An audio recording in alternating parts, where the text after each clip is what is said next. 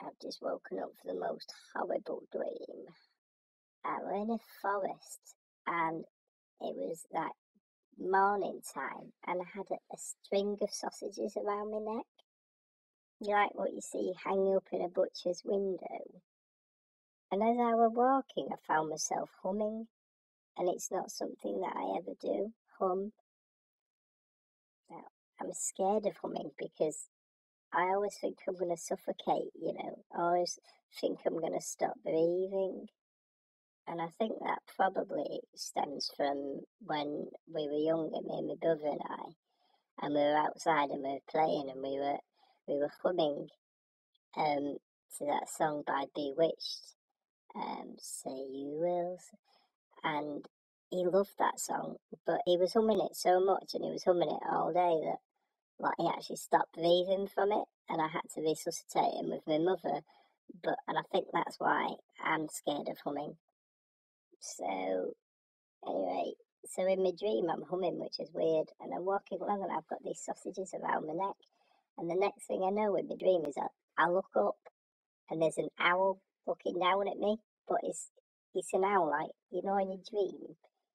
It feels like something, but it looks like something else. So this owl, he looked at me and I looked at it and I thought, I recognise you, owl. I know that face. And it turns out it was uh, the body of an owl, but like with the face of Cheryl Cole. It was so weird. So I was quite, in my dream, I was quite excited because I don't mind her music and, you know, everything she did on X Factor. So I looked up at her in the tree and I said, Cheryl, I love you. Can I get an autograph? So she, up oh, there, she went, Of course you can, pet.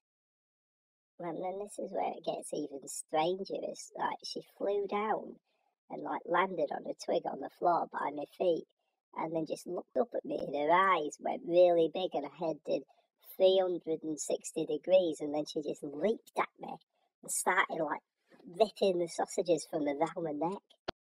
And I started freaking out because she was attacking me and like her wings were flapping and her beak was digging into me and her talons were like scratching my torso.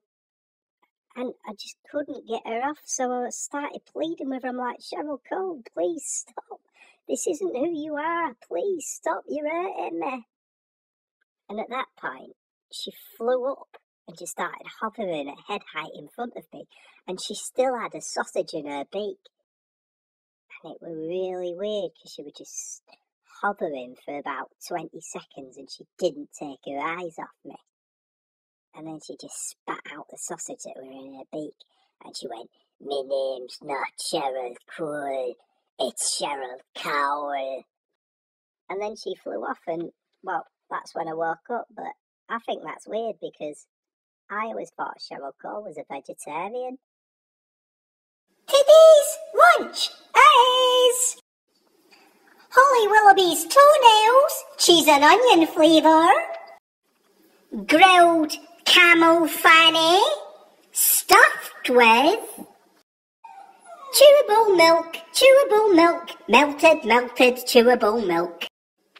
Jewish nightmare.